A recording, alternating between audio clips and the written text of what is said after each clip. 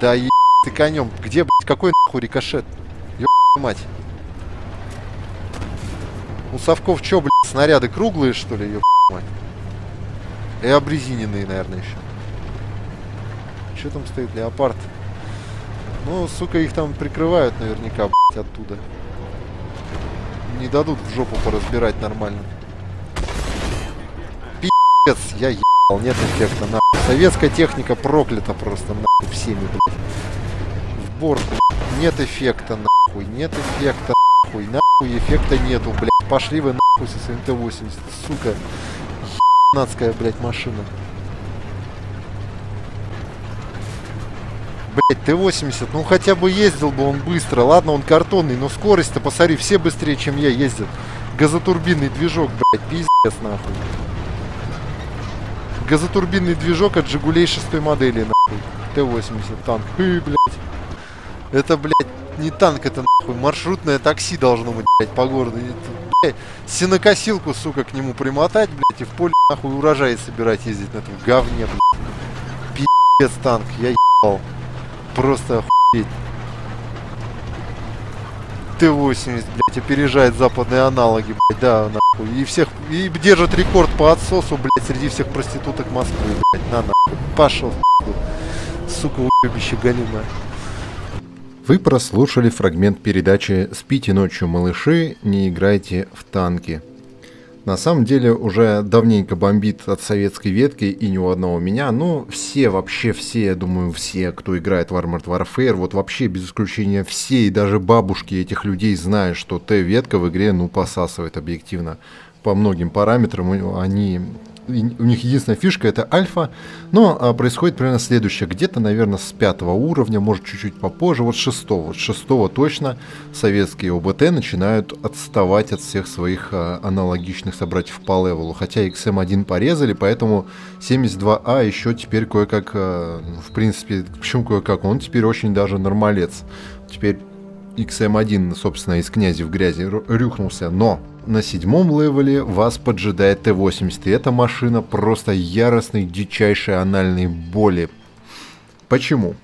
Возникает вопрос. Потому что, во-первых, она пробивается в нижний лист всеми. Пиздец. Она довольно неплохо пробивается в люк мехвода, который можно легонько э, выцелить. Пиздец. Она пробивается в люк на башне с критом. Пиздец. И как будто этого мало, она еще и пробивается в щеки башни. Пиздец.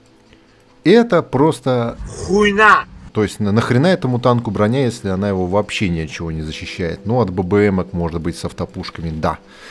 Ходят слухи и вроде как обещания, что клянутся и заверяют, что на Т-80, Т-80 обвесят динамической защитой. На самом деле это имеет столько... Даже я об этом говорил, что не мешало бы обвесить его динамической броней, но это так, чисто чтобы визуально ласкать глаза игроков, скажем так, потому что после Т-72 абсолютно голый Т-80 похож на залупу, только что не красную. Ну, то есть в формате ветки развития я себе это представляю так. Вот Т-72А с динамической защитой. Значит, что в эти годы наша страна освоила эту технологию, начала применять ее на танках. Потом бац, покупают Т-80, на нем этой защиты нету. А что случилось? Случилось, куда она делась.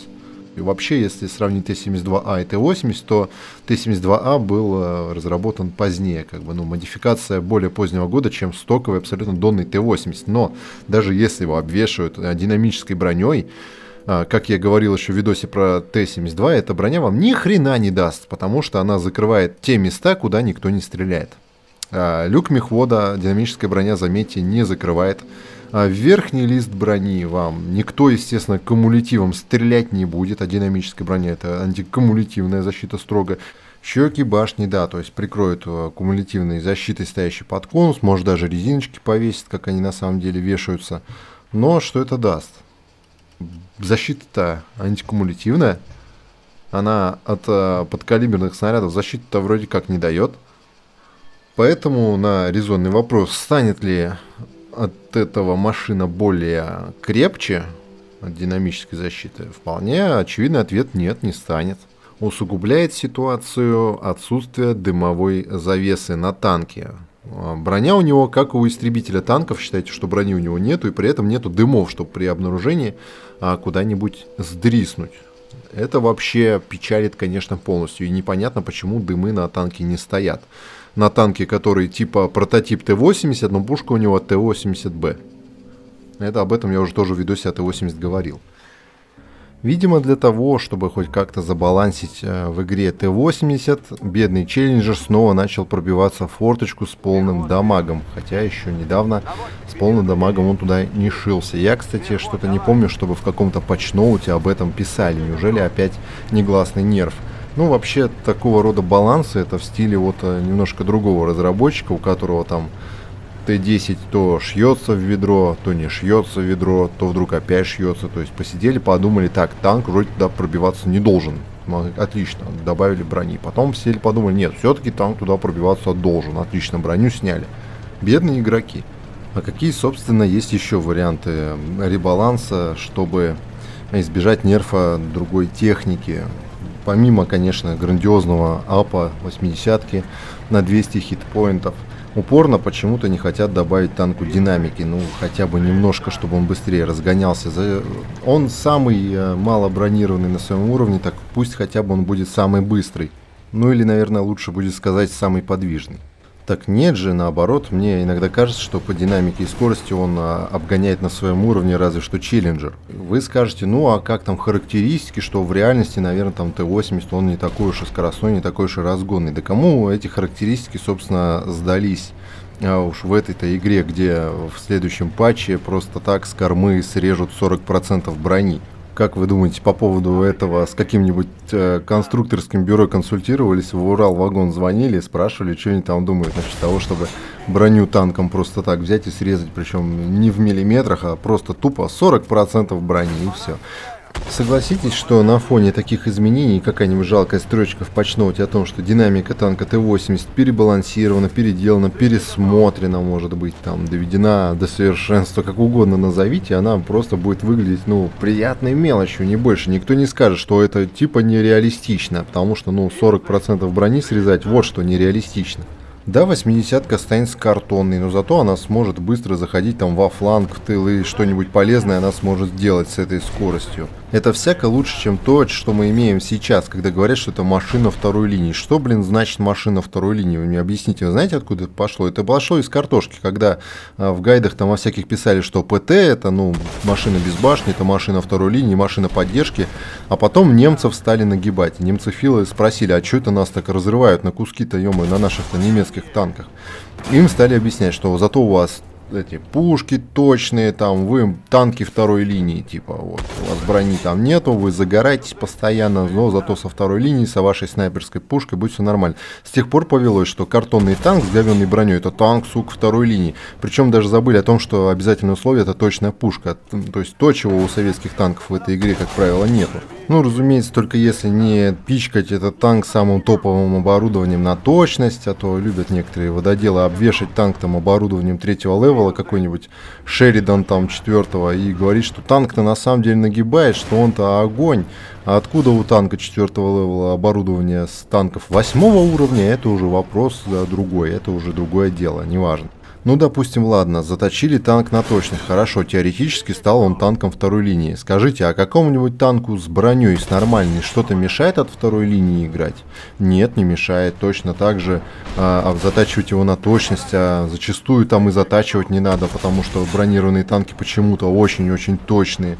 И стоишь себе в кустиках, теребонькаешь. Как правило, игра от кустов себя оправдывает в 99% случаев. То есть, э, кто в кустах стоит, тот стабильно дамаг нагибает. Можно потом скриншот на форуме всем тыкать, что а танк-то зашибись, он дамаг накидывает. Умалчивается, правда, что он докидывает, накидывает его из кустов, там откуда-нибудь с другого конца карты. Но кого это волнует? Статистика, как правило, в этом плане слепа. Но если все-таки отказаться от игры от э, куста и базы, да, называя это там благородным словом игра от второй линии, то ваш успех в бою на 80-ке примерно на 80% зависит не от вашего скилла, а от скилла ваших э, врагов. Если они умеют играть, они довольно быстро вас ушатают. Если не умеют, то ушатаете, скорее всего, их вы. В общем, на мой взгляд, в игру конкретно просится Т-80 какой-нибудь топовой модификации, но и стоковый э, Т-80 разработчикам крайне дорог, раз он до сих пор такой здесь есть. Но и Т-72А из игры не уберешь, и стоковый Т-72 тоже убирать не хочется, а мест в ветке развития нет. Ништяковым вариантом было бы вывести Т-80 в отдельную ветку, на 9 левел поставить э, всеми желанный оплот. Ну, потому что в европейской ветке, извините, только шестой левел свободен, сомневаюсь, что это кого-то устроит. Ну, а на десятый левел можно было бы водрузить Черный Орел всеми позавытый, ибо Армата. Да, танк будет высосан из пальца, по примеру одного разработчика, ну а почему бы, собственно, и нет. Вот тогда бы мы зажили. Ну, а пока Т-80 остается стоять на седьмом левеле, пробиваться везде, где только можно, не иметь динамической защиты, не иметь дымов, иметь посредственную динамику, средненькую точность и паршивый УВН, что, впрочем, по мнению многих, не мешает ему быть отличнейшим танком второй линии. Интересно только давно ли термин «танк второй линии» стал синонимом слова «говно».